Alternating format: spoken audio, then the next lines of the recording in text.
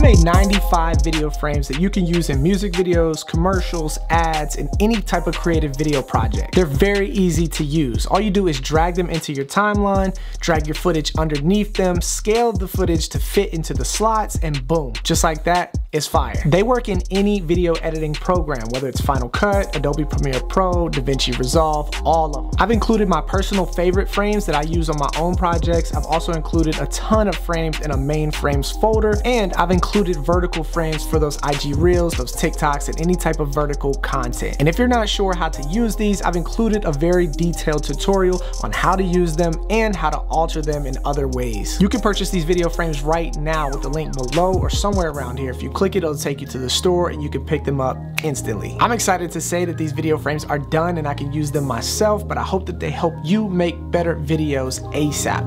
Peace.